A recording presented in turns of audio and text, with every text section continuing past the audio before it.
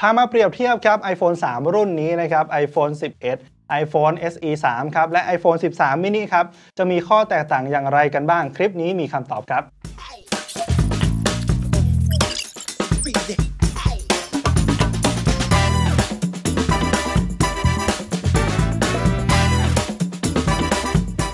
สวัสดีครับ ผม1 iMod นะครับ อย่างที่หลายท่านรู้กันนะครับ iPhone SE 3 ครับ ได้เปิดตัวไปแล้วนะครับ ในราคาเริ่มต้นที่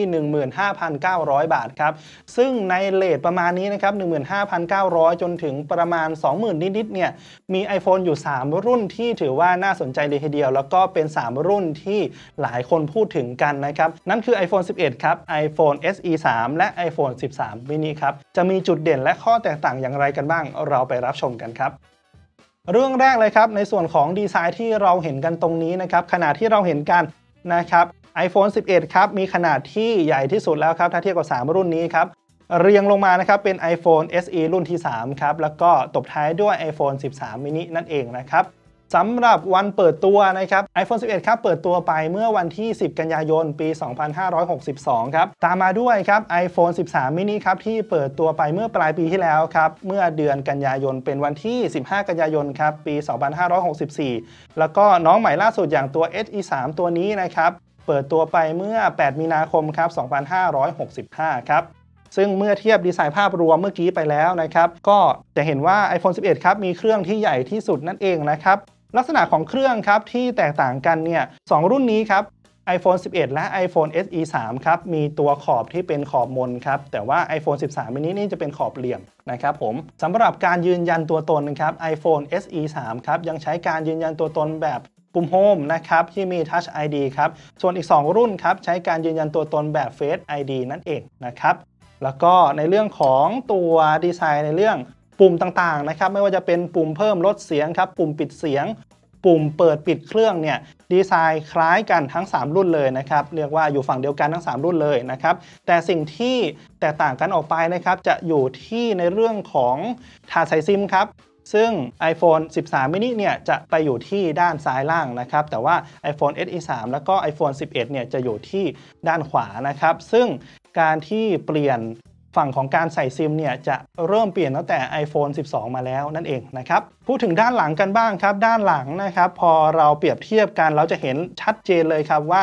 กล้องของแต่ละรุ่นเนี่ยไม่เหมือนกันนะครับ iPhone SE 3 ครับ มากับกล้องเดียวนะครับ เป็นกล้อง wide กล้องเดียวนะฮะสำหรับ iPhone 11 และ iPhone 13 mini ครับ มีกล้องคู่เหมือนกันครับ แต่ว่า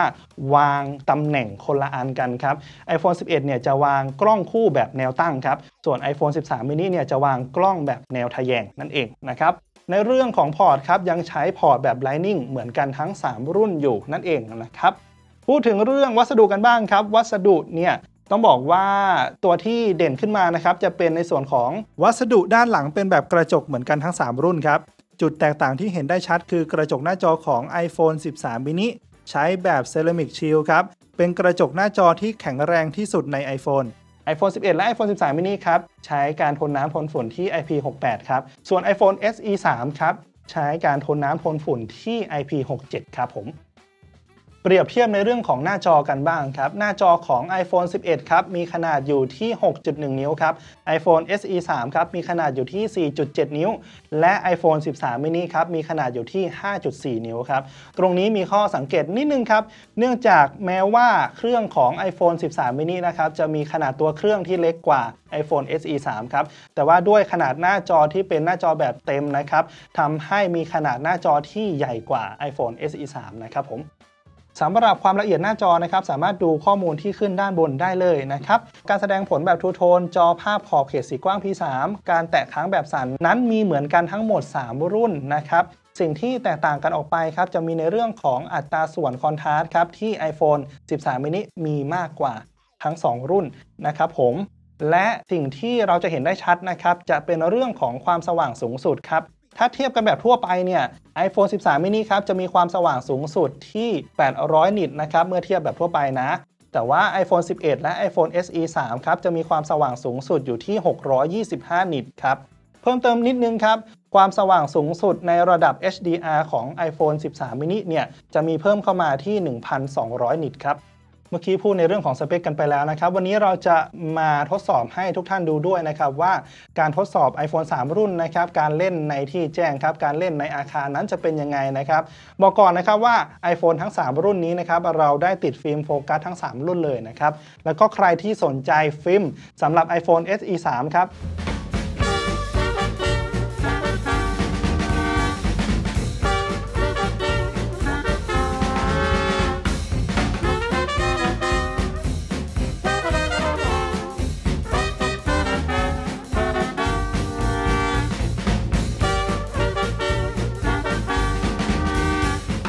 Focus Tempered Glass Full Frame ปกป้องเต็มที่ด้วยกระจกเต็มจอแบบใส touch ลื่น ฟิล์มตัวนี้ช่วยปกป้องหน้าจอด้วยความแข็งแรงระดับ 9H ครับ ป้องกันรอยขีดข่วนได้ดีเยี่ยม แข็งแรงทนทานใช้ได้นานกว่าฟิล์มทั่วไป ช่วยลดรอยนิ้วมือเช็ดทำความสะอาดง่าย พร้อมส่งมอบประสบการณ์ที่ดีที่สุดบนหน้าจอให้กับคุณได้ครับ คุ้มค่าแถมฟรีฟิล์มหลังครบในกล่องเดียวมีครอบคลุมให้ทุกรุ่น พร้อมปกป้อง iPhone SE 3 ของคุณ ซื้อได้แล้ววันนี้ครับ ที่ www.focuschill.com Focus Shop และร้านค้าตัวแทนจำหน่ายทั่วประเทศครับ ในราคา 349 บาท จากการทดลองใช้งานกลางแจ้งครับ iPhone รุ่นที่เราจะเห็นภาพได้คมชัด แล้วก็ความสว่างสูงสุดเทียบกันแล้วที่เห็นหน้าจอตรงนี้นะครับ ก็จะเป็นในส่วนของ iPhone 13 mini ครับ ด้วยจอที่เป็นแบบ OLED แล้วก็ความสว่างสูงสุดที่มีมากกว่าหน้าจออื่นนะครับผมสำหรับ iPhone 11 แล้วก็ iPhone SE รุ่นที่ 3 ครับ จะให้ความสว่างพอๆกันเลยนะครับ มาพูดถึงเรื่องประสิทธิภาพกันบ้างครับ ต้องบอกว่าชิปประมวลผลนั้นต่างกันนะครับ iPhone 11 ครับ ใช้ชิปประมวลผล A13 Bionic ครับ ส่วน 2 รุ่นนี้ครับ iPhone SE 3 และ iPhone 13 mini นะครับ ใช้ชิปประมวลผล A15 Bionic ครับ ซึ่ง iPhone 2 รุ่นนี้ครับ iPhone 13 mini และ iPhone SE 3 นะครับ มี Neural Engine อยู่ที่ 16 core มากกว่า iPhone 11 8 core เลยทีเดียวนะครับผม Neural Engine ตัวนี้นะครับ จะเกี่ยวข้องกับเรื่องของ Machine Learning และก็ AI ครับทำให้สมาร์ทโฟนของเรานะครับ มีประสิทธิภาพที่ดีขึ้นครับ AI ประมวลผลได้ดีขึ้น แล้วก็มีเรื่องของการจัดการทรัพยากรพลังงานที่ดีขึ้นด้วยครับ เมื่อเทียบคะแนนประสิทธิภาพจาก Geekbench ครับ จะเห็นว่า iPhone SE 3 ครับ มีคะแนนที่ใกล้เคียงกันกับ iPhone 13 mini เลย เพราะว่าใช้ชิปตัวเดียวกันนั่นก็คือชิป A15 Bionic นั่นเองครับ มาดูทางด้านของประสิทธิภาพกันครับ เมื่อได้ลองใช้งานเล่นเกมแล้วนะครับ ทั้ง 3 รุ่น iPhone 11 iPhone SE รุ่นที่ 3 iPhone 13 mini ครับ สามารถเล่นเกมได้ลื่นไหลไม่ได้พบข้อแตกต่างที่เห็น หรือเป็นจุดสังเกตได้อย่างชัดเจนนะครับ เราก็เลยลองทดสอบประสิทธิภาพของชิปประมวลผลครับ ในการ Export ไฟล์วิดีโอความละเอียด 4K ขนาด 1.36 GB ครับ พบว่า iPhone 11 ครับใช้เวลาไป 9 นาที 15 วินาทีครับ iPhone 13 mini ใช้เวลาไป 9 นาที 8 วินาทีครับ ส่วน iPhone SE รุ่นที่ 3 ครับ ใช้เวลาไป 9 นาที 7วินาทีนิด ๆ ใกล้เคียงกันกับ iPhone 13 mini ครับ เนื่องจากประสิทธิภาพของชิป A15 Bionic ครับ ใน 2 รุ่นนะครับ iPhone SE รุ่นที่ 3 แล้วก็ iPhone 13 mini ที่เป็นรุ่นใหม่กว่า iPhone 11 ที่ยังใช้ชิป A13 Bionic นะครับทำให้มีการประมวลผลได้ดีมากขึ้นครับ แต่ประสิทธิภาพถ้าพูดกันแล้วในเรื่องของการเล่นเกมนะครับก็จะไม่ได้แตกต่างกันมากนะครับ แต่ว่าจุดที่แตกต่างกันนั้นจะเห็นในเรื่องของฟีเจอร์ต่างๆ ที่เพิ่มมากขึ้น และก็การประมวลผลของ AI Machine Learning ครับในการเรียนรู้ระบบการแต่งภาพ การถ่ายภาพที่มีความละเอียดมากขึ้น เดี๋ยวเราจะไปดูกันครับ ในส่วนของความแตกต่างของเรื่องกล้องครับ สำหรับกล้องหลักของทั้ง 3 รุ่นนะครับ จะมีความละเอียดอยู่ที่ 12 ล้านพิกเซลเหมือนกันนะครับ แต่ว่าจะแตกต่างกันที่ f ครับ หรือว่ารูรับแสงนะครับ f ของ iPhone 11 และ iPhone SE 3 ครับ อยู่ที่ 1.8 ครับ ส่วน f ของ iPhone 13 mini ครับจะอยู่ที่ 1.6 ครับ ซึ่งเลนส์อัลตราไวครับของ iPhone 11 และ iPhone 13 mini นะครับจะมี f อยู่ที่ 2.4 เท่ากันครับ โหมดกลางคืนครับมีอยู่รุ่นเดียวนะครับที่ไม่มีโหมดกลางคืนครับนั่นก็คือ iPhone SE 3 ครับส่วน iPhone 11 และ iPhone 13 mini นั้นมีโหมดกลางคืนนะครับในเรื่องของ diffusion ครับการป้องกันภาพสั่นไหวแบบ optical ครับแล้วก็ fat to tone นะครับ โหมดถ่ายภาพบุคคลนะครับ เรื่องของการจัดแสงเนี่ยมีเหมือนกันทั้ง 3 รุ่นเลยนะครับ จุดที่ต่างๆกันนะครับ จะมีเรื่องของการซูมครับการซูมเนี่ยจะแบ่งออกเป็น 2 แบบนะครับ แบบดิจิตอลแล้วก็แบบ optical นะครับ แบบดิจิตอลเนี่ยจะซูมสูงสุดได้ 5 เท่าเท่ากันทั้ง 3 รุ่นนะครับ แต่การซูมแบบ optical ของ iPhone SE 3 นั้นไม่มีนะครับ แล้วก็ iPhone 11 และ iPhone 13 mini นะครับ จะซูมแบบ optical ได้สูงสุด 2 เท่าครับ เพิ่มเติมอีกนิดนึงครับ คุณสมบัติภาพถ่ายที่ได้มานะครับ จากชิป A15 Bionic จะมีอยู่ใน iPhone SE รุ่นที่ 3 และ iPhone 13 mini ครับ รวมถึง Smart HDR4 ด้วยครับผมสำหรับการบันทึกวิดีโอครับ ทั้ง 3 รุ่นนี้นะครับ iPhone 11 iPhone SE รุ่นที่ 3 ครับ แล้วก็ iPhone 13 mini นะครับ จะมีการบันทึกวิดีโอระดับ 4K ที่ 24 เฟรมครับ 25 เฟรม 30 เฟรม แล้วก็ 60 เฟรม ที่ความละเอียดเท่ากันเลยนะครับ รวมถึงการบันทึกวิดีโอระดับ Full HD ครับ 1080p ที่ 25 เฟรม 30 เฟรม และ 60 เฟรม เท่ากันทั้ง 3 รุ่นนะครับ รองรับวิดีโอ Quick Take เหมือนกันครับ แล้วก็วิดีโอ Slow Motion ที่ความละเอียด Full HD 1080p 120 เฟรม หรือว่า 240 เฟรม เหมือนกันทั้ง 3 รุ่นนะครับ มีวิดีโอ time-lapse พร้อมระบบป้องกันภาพสั่นไหวนะฮะ จุดที่แตกต่างกันครับ จะเป็นเรื่องของการซูมดิจิตอลนี่แหละครับ เพราะว่าการใช้เลนส์ที่แตกต่างกันนะครับ สามารถดูข้อมูลได้ที่จอด้านบนเลยครับ ซึ่งวันนี้ครับเรามีภาพเปรียบเทียบการถ่ายภาพนะครับทั้ง 3 รุ่นให้ดูกันเลยนะครับระหว่าง iPhone 11 ครับ iPhone SE รุ่นที่ 3 ครับ แล้วก็ iPhone 13 mini ให้เห็นกันนั่นเองนะครับก็ต้องบอกว่าหลังจากที่ไปถ่ายมานะครับ ในเรื่องของ Smart HDR4 หรือว่าการถ่ายย้อนแสงที่ดีขึ้นนะครับ ต้องชม iPhone SE 3 นะครับว่า สามารถถ่ายภาพย้อนแสงได้มีประสิทธิภาพที่ดีครับ แล้วก็สามารถเก็บแสงได้ดีไม่ฟุ้งด้วยนะครับ ที่เราเห็นภาพตัวอย่างที่ขึ้นนี้นะครับแล้วก็ในเรื่องของ Diffusion ครับ การเก็บรายละเอียดภาพ Diffusion ที่มาพร้อมกับ A15 Bionic Mineral Engine 16 Core เนี่ยทำให้ SE3 นะครับ เก็บรายละเอียดได้คมชัดชัดเจนมากขึ้น ถ้าเทียบกับ 3 รุ่นนี้นะครับ แล้วก็พูดถึงเรื่องข้อสังเกตอีกนิดนึงครับ ด้วยระยะกล้องที่ไม่เท่ากันนะครับ iPhone 11 จะมีระยะกล้องที่กว้างกว่า ถ้าเทียบในเรื่องของทั้งแนวตั้งและก็แนวนอนนะครับnight mode ครับ iPhone 13 mini จะมี night mode เหมือนกับ iPhone 11 ครับ แต่ว่า iPhone SE 3 จะไม่มี night mode นะครับ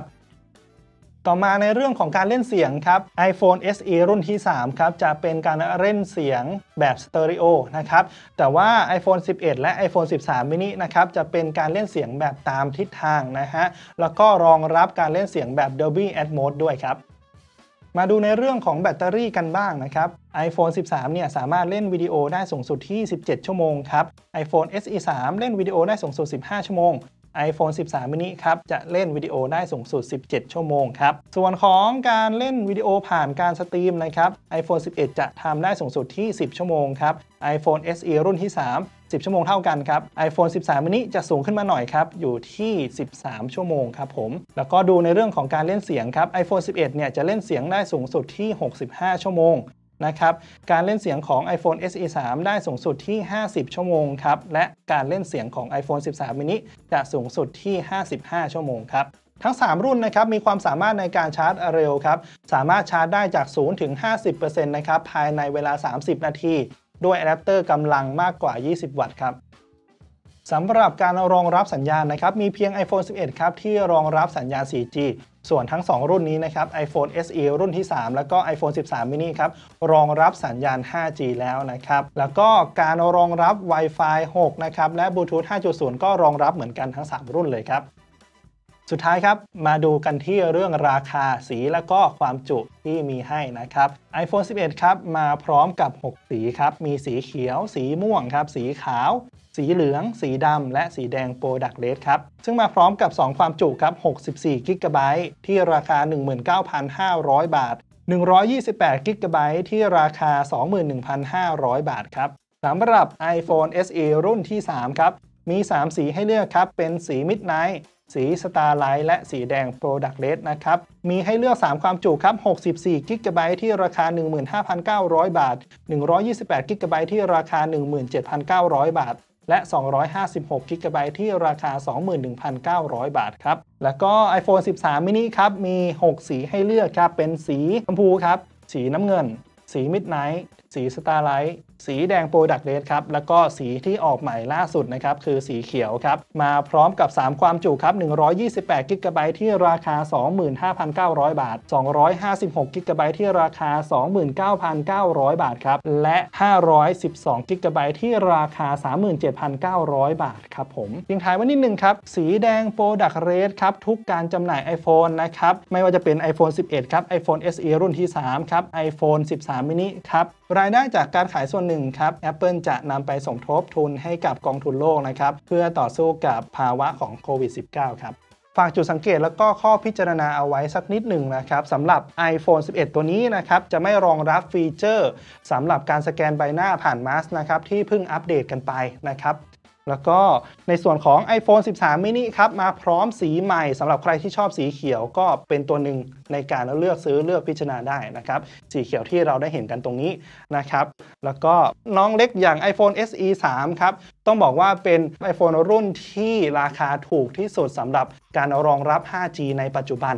นะครับ แล้วก็กล้องหน้าครับที่เป็นกล้องหน้าแบบ FaceTime HD เนี่ยจะไม่รองรับ Animoji และก็ Memoji นะครับ สุดท้ายครับในส่วนของการดีไซน์ที่ดีไซน์คงเดิมนะครับทำให้ iPhone SE รุ่นที่ 3 ตัวนี้ครับสามารถติดเคสติดฟิล์มนะครับของรุ่นก่อนหน้าได้อย่าง iPhone SE รุ่นที่ 2 iPhone 7 และ iPhone 8 ครับเชื่อว่าข้อมูลหลาย ๆ อย่าง ตรงนี้นะครับในวันนี้เนี่ยสามารถ ให้ทุกท่านนะครับนำไปพิจารณาในการเลือกซื้อ iPhone ของคุณได้นะครับ แต่ว่าหากใครอยากรู้สรุปเลือกที่จะอัปเกรด iPhone รุ่นใหม่หรือว่าเลือกซื้อ iPhone รุ่นใหม่เนี่ยว่าจะเป็นอย่างไร น้องนุ๊กนิกได้ทำคลิปสรุปไว้แล้วนะครับ สามารถไปดูได้นั่นเองนะครับสำหรับวันนี้ผมหนึ่งไอมดขอลาไปก่อนครับ สวัสดีครับ